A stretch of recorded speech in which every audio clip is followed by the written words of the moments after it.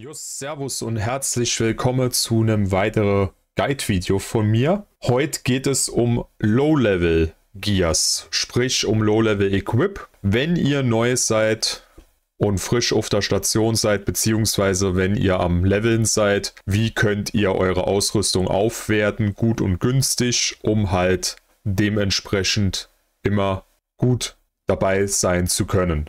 Wie immer gilt, das hier ist keine hundertprozentige Komplettlösung. Dies ist einfach nur für Neulinge bestimmt, um den Einstieg in Star Wars The Old Republic zu vereinfachen, beziehungsweise auch gleichzeitig für mich selber, um halt selbst immer wieder etwas Neues dazuzulernen. Wie gesagt, ich nehme euch an die Hand bei meinem Lernprozess, was Star Wars The Old Republic angeht und nehme euch auf diese Reise mit.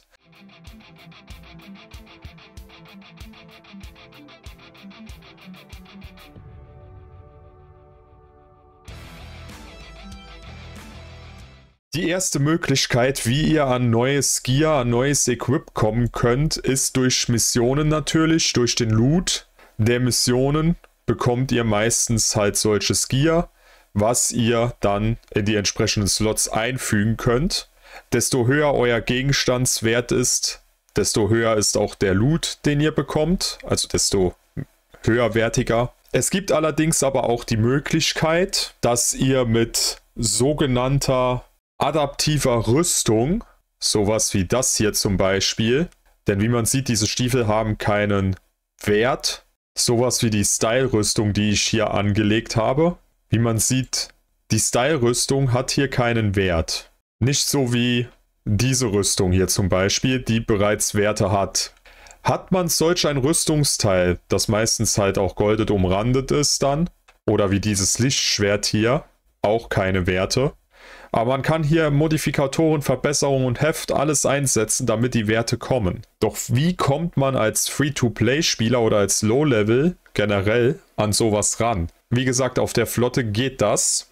Sowohl auf imperialer Seite als auf Republikseite genau das gleiche. Und zwar haben wir hier im Versorgungsgüterbereich mehrere Händler. Auch wieder in diesen Boxen wie bei den Berufe.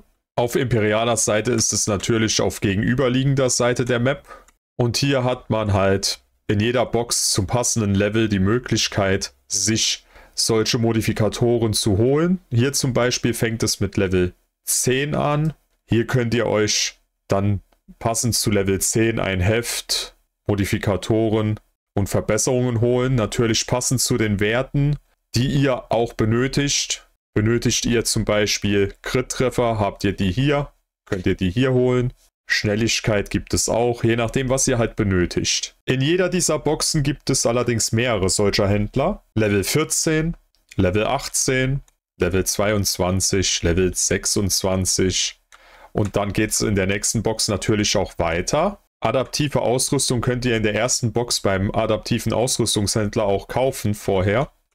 Mit jedem Level geht das halt weiter. Immer in gewissen Levelabständen natürlich, weil es ist unsinnig, äh, pro Level direkt immer wieder auf die Flotte zurückzukehren. Wir haben hier Level 30, 34, also so alle 4, 5 Level kann man das dann machen. Geht hoch bis Level 70. In der vorletzten Box kommt man dann zu spezielleren Händlern, Kriegsbeutehändler, kosmetische Rüstung, Kriegsbeute, Transportmittel und so weiter. Und in der letzten Box, da ist eigentlich das Late Game Equip vorhanden. Flashpoint und OP-Händler, PvE, auf, dann hat man hier auch noch PvP-Händler. Also man bekommt für alles, was man machen will, bekommt man in der letzten Box das beste Equip quasi her mit den Aufwertungen. Zum Beispiel hier Flashpoint-Händler. Wir haben hier einen Flashpoint-Händler für die Ausrüstung.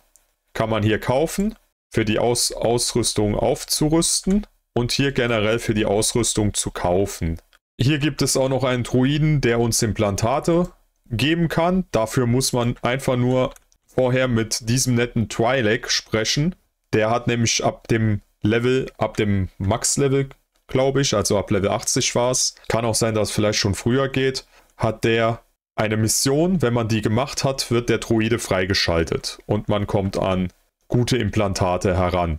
Jetzt ist das allerdings so, dass ihr wahrscheinlich noch nicht Level 80 seid, sondern erst mit dem Spiel angefangen habt. oder wieder eingestiegen seid und vorher die Boxen mal ein bisschen vielleicht abklappert, was natürlich dann auch gut ist. Allerdings gibt es auch die Möglichkeit für Relikte, Implantate und Ohrstücke zu bekommen, die Tauschbörse zu benutzen. Also das Handelsnetzwerk. Generell gilt das auch für Rüstung oder für adaptive Rüstung. Im Handelsnetzwerk findet ihr einiges, was ihr euch holen könnt, wenn ihr natürlich die nötigen Credits dafür habt. Der Handelsmarkt hat drei große Punkte, die ich noch ansprechen möchte an der Stelle. Erstens bietet er eine große Auswahl, was Equip angeht. Das ist sehr gut. Allerdings bedenkt, vergleicht Preise. Kauft nicht das Erstbeste, sondern vergleicht die Preise. Der zweite Punkt ist halt die Bequemlichkeit. Der Handelsmarkt wurde vor kurzem überarbeitet. Ich finde ihn persönlich jetzt sehr gut, noch besser als vorher. Und muss sagen, dass es wirklich sehr angenehm und bequem ist, dort zu kaufen und zu verkaufen. Wenn ihr jetzt allerdings Level 80 seid oder euch fragt, wie ihr bei Level 80 genau vorgehen wollt, Ihr wisst jetzt, hier gibt es Flashpoint, Operationsrüstungen etc. pp. Aber wie kommt ihr daran? Denn normale Credits kostet es ja so gut wie nichts. Man hat ja noch was anderes, was das kostet. Dieses andere, was es kostet, sind zum Beispiel FP1-Stabilisatoren, OP1-Katalysatoren und so weiter. Diese Sachen bekommt man alle, indem man halt Flashpoints, OPs, Raids, halt die Endgame-Aktivitäten regelmäßig spielt. Also sprich für regelmäßiges Flashpoint-Rennen, für regelmäßige OP-Läufe, für die ganzen Wochen, wöchentlichen Quests und Aufgaben, für die Dailies und so weiter und so fort gibt es mehr als genug Belohnung, die ihr verwenden könnt, um euch halt Endgame Equip zu organisieren und dieses aufzuwerten. Was natürlich auch ganz, ganz wichtig ist, denn wenn ihr ganz oben mitspielen wollt, also sprich, wenn ihr auf dem höchsten Schwierigkeitsgrad Raids mitlaufen wollt, müsst ihr dies tun, um halt da mithalten zu können. Abschließend zu dieser kleinen kurzen Einführung, wie man sein Equip verbessern kann. Wie gesagt, es gibt die Mission, äh, das Missionsequip, wenn man ganz normal auf dem Planeten levelt, aber man kann hier auch auf der Flotte sich sehr gut verbessern, was das angeht gibt es noch eine Sache, einen Punkt, den ich auf jeden Fall ganz, ganz wichtig finde und ansprechen möchte. Geht nicht einfach hin, schaut euch nicht einfach nur Guides an oder lest euch Guides durch, um weiterzukommen. Wie gesagt, das ist nur ein roter Leitfaden, so ein bisschen, wo ihr Schrank entlang hangeln könnt. Geht lieber hin und sprecht mit anderen Spielern. Die Gemeinschaft in Star Wars The Old Republic ist sehr, sehr wichtig sowohl für die OPs, Flashpoints als auch für hier das Equip für den Handel und so weiter. Von daher, es ist eine gute große Community da. Nutzt diese Möglichkeit auch, Ingame-Chat zu nutzen, auf Discord zu sein und auf Discord dementsprechend Kontakte zu knüpfen.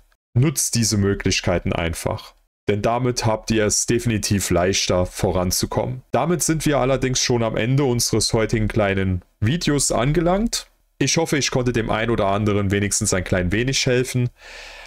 Wir sehen uns dann beim nächsten Video. Wenn ihr noch Fragen, Kommentare habt, Feedback geben wollt, schreibt es gerne in die Kommentare. Wenn ihr mich live bei Star Wars mal sehen wollt, könnt ihr das auch gerne tun. Superslay TV auf Twitch.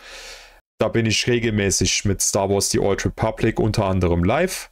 Und wenn ihr generell noch andere Star Wars Spieler sucht, mit denen ihr zusammen spielen könnt, oder auch gerne meiner Community Gilde auf Republik oder Imperialer Seite beitreten wollt, joint doch auf meinen Discord. Link ist in der Beschreibung. Jeder ist da gerne gesehen und willkommen. In diesem Sinne, ich bin Superslate, euer freundlicher Let's Player von Eman. Tüdelü.